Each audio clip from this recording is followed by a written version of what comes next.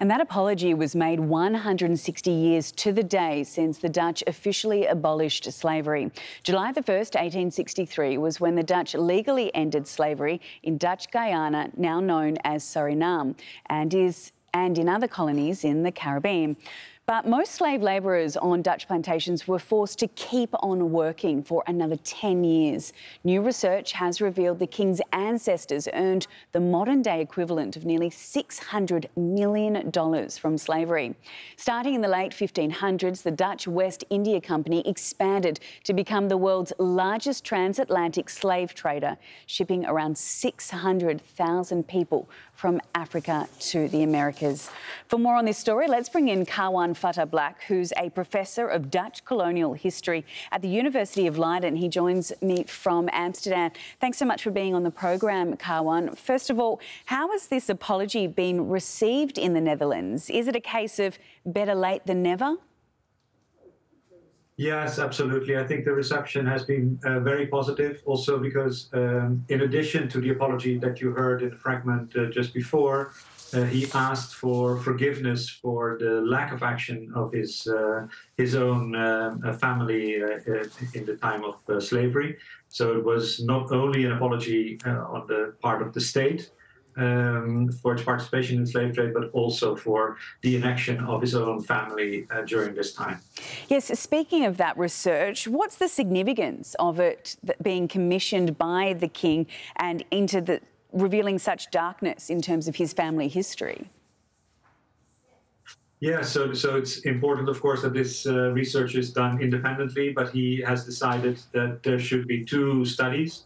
Um, one is of the objects in the uh, private collection of the royal family. Uh, so, are those objects were they obtained under conditions of um, uh, colonialism? And the other study is really of the family, how they operated uh, within the slave system, how they uh, profited from it, and how they made it part of their own court culture, but also of Dutch Dutch culture. Um, and so that's much more than what he asked forgiveness for today. So mm. what he mm. asked forgiveness for today was the inaction of his uh, uh, his forebears on the issue of slavery. And I think we will see another step when we know the extent of the family's participation um, uh, in uh, in the coming years. There's now the question of reparations. What happens next?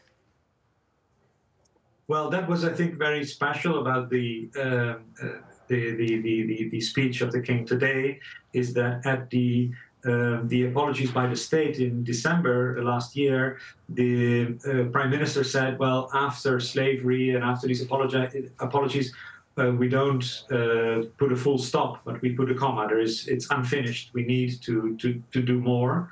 That was still very abstract. The king was now talking about um, uh, repair and healing and coming slightly closer to, to saying something well more concrete about what that should mean. Uh, but at least uh, he, he, communicated to all levels of government that this is uh, this is going to be an important issue in the years to come, and also that there is no no blue, blueprint for mm. reparatory justice. But that is that is a, a journey that they uh, uh, think we should make together.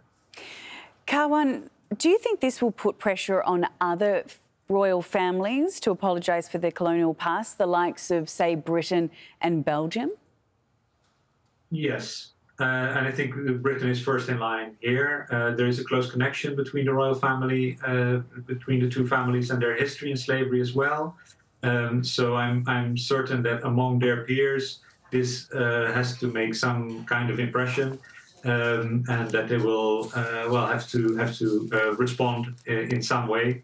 Uh, however, the king presented the apologies and the whole speech very much as a Dutch kingdom affair. So the Dutch kingdom is uh, uh, consists of four countries: the Netherlands mm. and, and uh, Aruba and Curacao and Saint Martin in the Caribbean.